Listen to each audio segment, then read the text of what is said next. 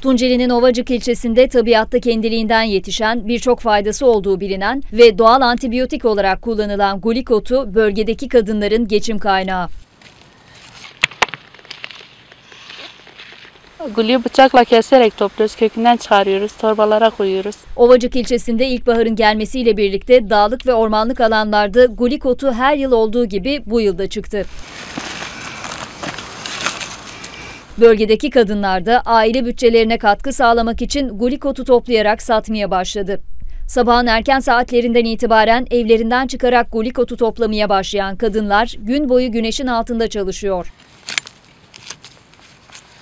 İşsizlikten dolayı e, zor şartlar altında, güneşin altında çalışıyoruz. Sabah sa- sabahın altısında kalkıyoruz. Gulik topluyoruz.